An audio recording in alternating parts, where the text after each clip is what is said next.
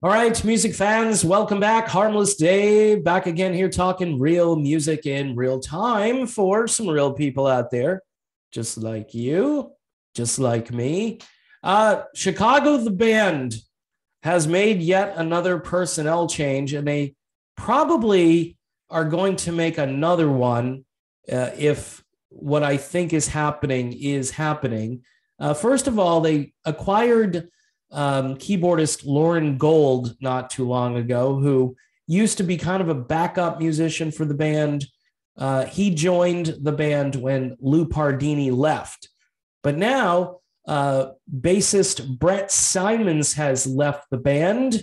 Uh, he was with the band uh, starting uh, when Neil Donell took over on lead vocals. Uh, they had to bring in a bassist because Neil Donell doesn't know how to play bass, which is kind of a tragedy because Chicago historically has had very good bass players who can sing the tenor vocals. Uh, starting, of course, with the best of them, Peter Cetera, who was not only a great vocalist, but a fantastic bassist. Uh, Jason Scheff did that role uh, extremely well and wound up also being a very strong bassist. And then Jeff Coffey, who was the most recent uh, in the line of singing bass players. Uh, Jeff Coffey was also a very strong bassist and a great singer. So when Donell comes in, they've got to bring in somebody who can play bass. So uh, obviously, uh, the ledger for uh, paying members in this group gets larger, where you have to have two guys who can come in and replace one guy, which is kind of a, a sad situation because I think Chicago should have taken a little bit more time and found somebody who could play bass and sing. Well, they may have found that person. His name is Eric Baines. Now, Eric Baines does sing.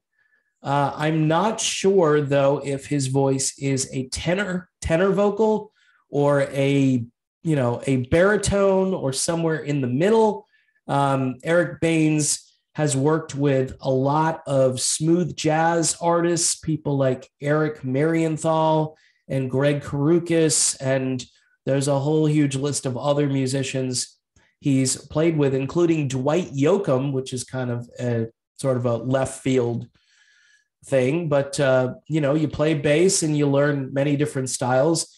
And Eric Baines, I think, is more of that bottom end smooth jazz, funky uh, style, which I think would fit Chicago really well. Um, the question is, will he be singing any vocals uh, in light of Loren Gold, who, quite honestly, just isn't working as a vocalist in this group? Um, his voice isn't great. And in addition to that, uh, you need the point counterpoint, the baritone sounding vocal with the tenor sounding vocal. Uh, this band does not sound good when they do songs like Hard Habit to Break. It's actually rather painful. And any of the Chicago tribute bands out there that I've heard and seen have a better grasp on those songs right now because they know they need to farm this out to somebody who can sound like Bill Champlin or Lou Pardini or Terry Kath.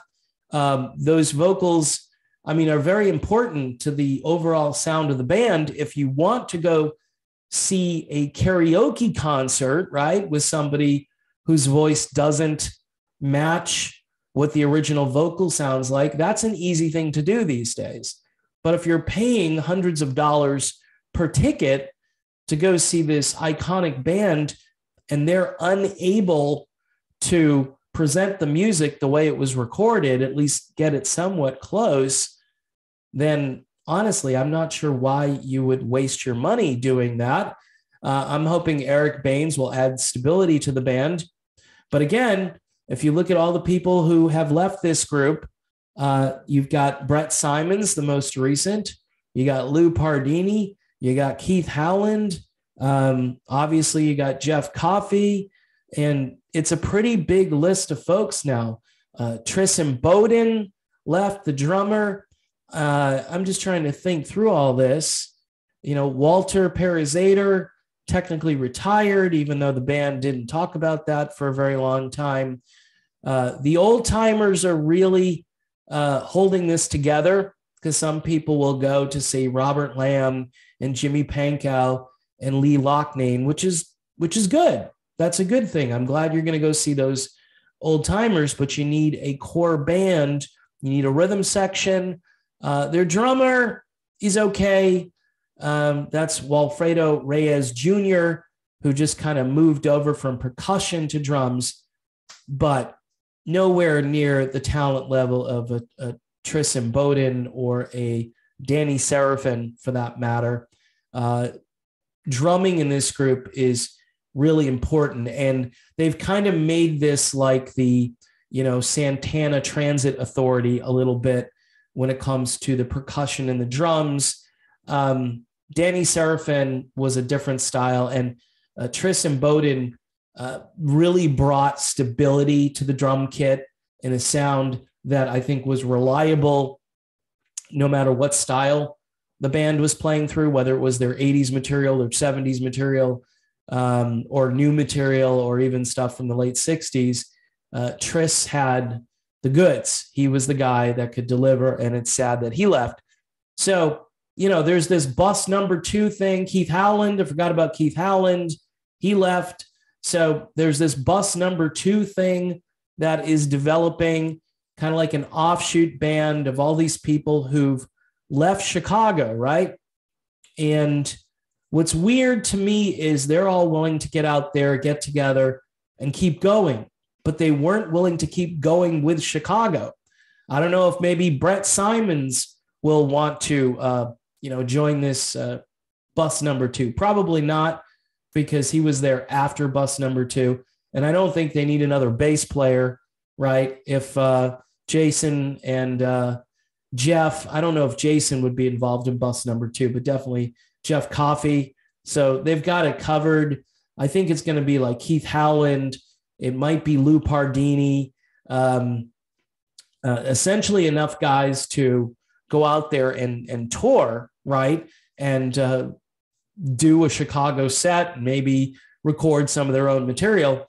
But again, Eric Baines joining Chicago, I don't know. It's, I, I mean, the philosophy of this band, and I'll wrap it up here because again, I'm a little under the weather today.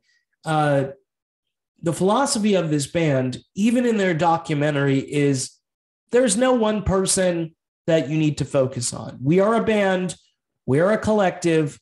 Nobody is more important than anyone else. There's no front man, there's no, you know, extra attention given to say Neil Donell here, which uh, they found, by the way, in Neil Donell, they they found the ultimate team player, somebody who's who's really not going to garner any additional attention because he isn't okay. And that's why, though, you need a supporting cast of people. Loren Gold does not sing that well. Uh, he may sing well in a different context, but this is just not, you know, what it it's supposed to be anymore. You're supposed to have a guy on keyboards who sounds like Bill Champlin, right? And they don't. So I get the whole we're not going to be, you know, this band where there's a celebrity in the band and but Robert Lamm technically is like your default celebrity in the group followed by Jimmy and Lee. That's that's it because they're the old timers and uh, apparently um, people are showing up mostly for that. Uh, like I said in another video, if they decide to just retire, then what they ought to do is find players at these positions who can deliver the sound that this band used to have. And that's possible because, again, there are tribute bands out there. Beginnings is a great band out of New York State uh, or New Jersey, up in that region. Also, uh, Leonid and Friends. Not sure if they're ever going to be uh, welcomed to the United States the way uh, they were before, but um, they're out there and they do a spectacular job uh, really just getting every nuance and every note correct. Whereas now you've had so many transplants out of Chicago and departures that I guess the casual audience doesn't care, but somebody who's followed this band for a very long time, I look at this and I just kind of get depressed. I'm like, really? Um, I really do think they need to find a singing bassist who can sound like Peter Cetera again. That should have been the goal, and auditions should have been ongoing. If they didn't find someone, keep going with the personnel you have, and then find someone and then plug that hole, fill that position, because you really can't skimp on that whole thing. They've gone in with Neil Donell. They've got a new album coming out. I believe that has been, you know, completely done with Donell on vocals. They recorded, I believe, some Christmas music with Neil Donell. So, um, yeah, they've just decided that Neil is the guy. But again, uh, this whole situation to me seems like it's not the best solution to their problems. But yes, they're still selling tickets. They're probably still selling out shows. And many people don't even know who's in this group anymore. And with so many personnel changes, it's very hard to keep up. So you have to keep, you know, checking the website uh, week to week. Uh, check the concert stage when somebody does their uh, fan-friendly video and uploading it to YouTube, and you'll say, "Huh, who's that guy? That doesn't look like uh, Lou Pardini. It's Loren Gold," you know. And then it's like, what's going on with this band? So it may be a tough working environment. I've made this statement a couple of times. Bottom line with Chicago is this may not be the best working environment. And uh, we don't know why Brett Simons left, but he is no more, at least with Chicago. Uh, maybe he got a better offer, or maybe he just um, went the way of bus number two. So, in any event, that's the video, folks. Thanks for watching. Thanks for putting up with me today. I will be back at some point, and I'll see you then.